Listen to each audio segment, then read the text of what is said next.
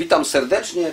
Tutaj, kiedy jesteśmy w sklepie dla hodowców.pl w Krosinie, y, mają oni w swojej ofercie taką klatkę. My o niej wspominaliśmy, że ona jest tutaj cały czas w sprzedaży, oni produkują. Klatka ta jest dostarczana tutaj przez kolegów mm, pocztą z kompletem oprzyrządowania, czyli są tutaj dwie żarówki, żarówka do oka, zestaw taki do robienia. Klatka wygląda w ten sposób, środek powinna podejść, pokaż.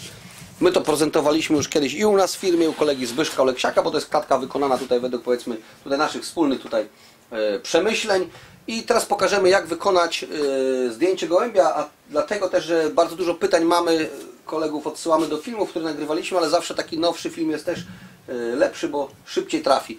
Nie mieliśmy targów gołębi, także tych gołębi na giełdę trafia tam na, do nas na stronę bardzo dużo. Też możemy sobie dzięki temu y, zobaczyć, jak te gołębie w rzeczywistości wyglądają, bo często też dysponujemy zdjęciami różnych gołębi. Jeżeli to są jakieś gołębie wycofywane z rodowodu, y, z ro- rozpłodu, to są starsze. Te gołębie inaczej wyglądały 5 lat temu, natomiast taką klatkę mając, my możemy zawsze młode czy gołębie, te, które mamy w danym momencie w sprzedaży, zaprezentować tak, jak one na daną chwilę wyglądają. Tutaj nim przejdziemy jeszcze do włożenia y, tego gołębia do klatki, pokazania jak się robi te zdjęcia dokładnie. Chciałem też powiedzieć, ja akurat będę tutaj wykonywał takim aparatem. O, tych, o sprzęcie powiem troszeczkę tylko tytułem wspomnienia. To są, y, możemy wykonywać zdjęcia aparatem dowolnym tak naprawdę. Wygodniej się robi taką lustrzanką na przykład, gdyż czy tam jakimś bezlusterkowcem, takim, który w momencie kiedy naciskamy spust, on od razu wykonuje zdjęcie. W aparatach kompaktowych mamy troszeczkę tego poślizgu czasowego pomiędzy y, naciśnięciem migawki, a kiedy ona zacznie działać, to jest tam sekunda, pół sekundy i tylko może już się poruszyć. Natomiast w momencie, kiedy dysponujemy takim aparatem, tak zwaną lustrzanką, y, to będzie szybciej działało.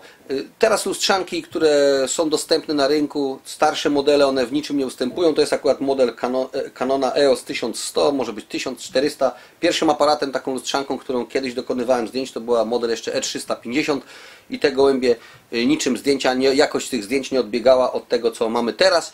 To są jeszcze, co warto powiedzieć, te zdjęcia, które na internet wrzucamy, one też są o mniejszych rozdzielczościach. Nie ma sensu robić dużych takich rozdzielczości, żeby to zdjęcie ważyło ileś naście megabajtów, gdyż i tak to, co prezentujemy na ekranie komputera, o, jesteśmy ograniczeni tą rozdzielczością i nawet jak weźmiemy matrycę HD, czyli tą Full HD, to powiedzmy mamy 1920 pikseli do dyspozycji.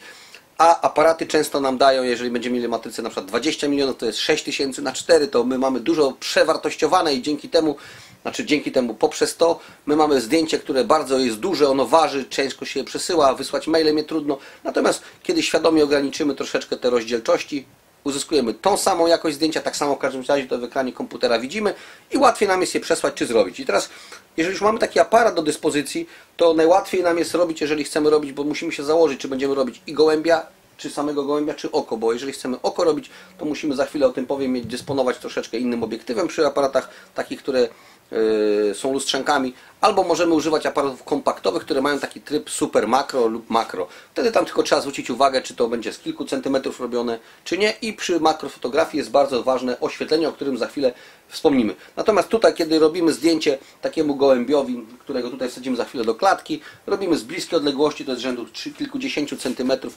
odległość od niego, czyli taki obiektyw, który standardowo dostajemy z taką lustrzanką. On ma tutaj jest 18,50, 18,55 mm. Całkowicie nam wystarcza.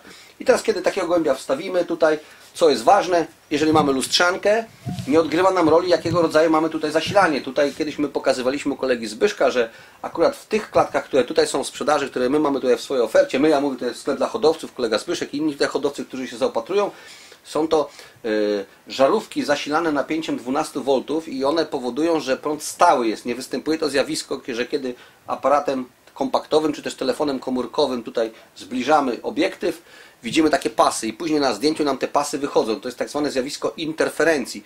Ono nie będzie występować, kiedy będziemy robić aparatem z tak zwaną lustrzanką albo bez lusterkowcem, natomiast przy aparatach tych takich kompaktowych i telefonach komórkowych te pasy często występują i to nam troszeczkę zniekształca.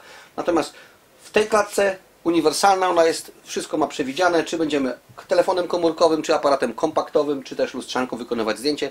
Nie odgrywa to żadnej roli. Warto tylko zwrócić uwagę jeszcze tutaj, że przykładowo jeżeli będziemy robić zdjęcie sylwetki gołębia, to w trybie auto bez najmniejszego problemu wszystko będziemy robić. Jeżeli nie, możemy wykorzystać inne tryby te tematyczne, które dany aparat yy, ma. Ale to należy już dobrać po prostu po swojemu. Z tym, że oświetlenie, które zapewnia klatka jest takie, że bez najmniejszego problemu sobie takim aparatem czy telefonem komórkowym zdjęcie zrobimy. Pokażmy, wejdziemy teraz tutaj, wpuścimy gołębia. Kolega tutaj jakiegoś ma, nie wiem, to tu chyba Albrecht jakiś tu na podwórku złapany, ale nic. Zobaczmy.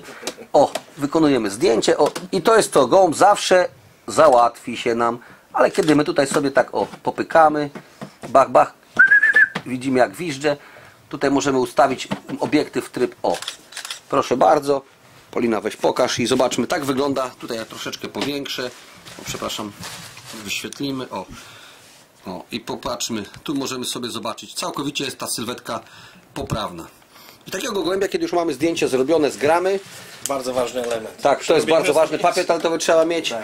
Ja teraz pokażę, jak wykonujemy mu oko, to co wspominałem. Ja tutaj używam akurat, to, to są obiektywy tak zwane stało-ogniskowe, to są starszej generacji, tu są pierścienie makro, przejściówka, która tutaj z gwintu tego M42 zapewnia mi przejście do standardu tutaj Canona. Tutaj sobie taki obiektyw montuję. Tutaj ja mam tak akurat dobrane, że przy tej czułości, przy tym rodzaju oświetlenia, tutaj mamy taką żarówkę, którą też tutaj w firmie dla hodowców PL nabywamy razem z klatką. Mamy tutaj aparat ustawiony, ja sobie akurat ustawiam w trybie Time Value, to jest priorytet czasu. Ustawiłem migawkę na 1,125, dlatego żeby y, w momencie, kiedy gołąb by poruszył powieką, czy też y, poruszyłby się cały, żeby to było tak zrobione, żeby nie było tego ruchu widać. I ustawiona tutaj przy tych warunkach oświetleniowych jest też czułość na 400 ISO. Przysłonę tutaj na obiektywie aparatu ustawiam na 11, to jest przysłona ręczna. Ważne jest, żeby aparat był y, obiektyw był wyposażony y, w tryb albo manual, albo auto, ale ważne jest, żeby to było cały czas na manualu. Gdybyś, zobaczmy, taka, taka jest taka ta przysłona, która tutaj jest y, regulowana, ona musi być dość duża.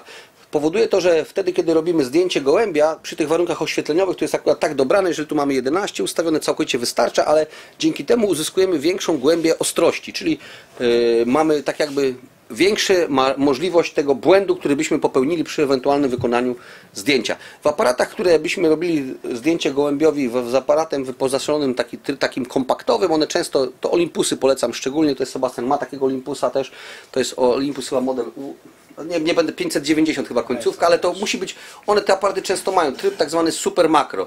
W momencie, kiedy ten tryb super makro przełączymy, tutaj zbliżymy to w wyświetlaczu, widzimy jak ten zdjęcie, jak ten obiektyw ostrzy w czasie takim online, takie na żywo i tam też bardzo łatwo wykonamy zdjęcie. Zróbmy teraz zdjęcie temu gołębiowi. Ja pokażę. Przy takim aparacie, o, jak tutaj mamy, łapiemy, łapiemy sobie tutaj gołębia tak za dziób. Musimy mieć asystenta. Opieramy tutaj na kciuku, opieramy sobie kant obiektywu, ustawiamy o, i w momencie, kiedy będziemy tutaj zbliżać, wykonujemy, ja muszę włączyć tylko jeszcze właśnie, bo się wyłączył. O, wykonujemy o, zdjęcie i uzyskujemy tutaj, zobaczmy, ja to jeszcze puszczę, odtworzenie, o, i zobaczmy, mamy o, to oko zrobione.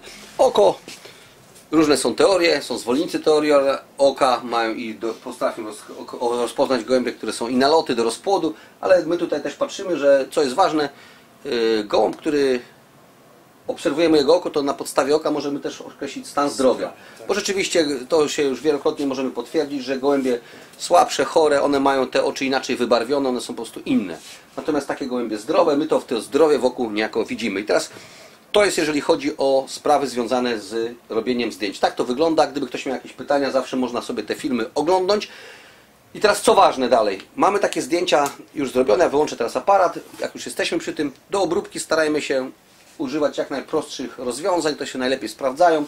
Takie zdjęcie, jeżeli nie będziemy go wycinać z sylwetki gołębia, to możemy tutaj użyć programu Irfan. On jest darmowym programem, na internecie go bardzo łatwo ściągnąć. To jest program, który ma w swojej strukturze już zawarte wszystkie takie możliwości związane z katalogowaniem, z korygowaniem zdjęć, z wycięciem interesujących nas fragmentów. No możemy sobie właśnie dzięki temu te oczy wszystkie, gołębie, po prostu sylwetkę ich wyciąć, wysłać i dzięki temu tam jest jeszcze ważna rzecz, dokonać resize'u, czyli tego zwiększenia ich tych właśnie yy, pikseli, które będziemy mieli yy, do wysłania.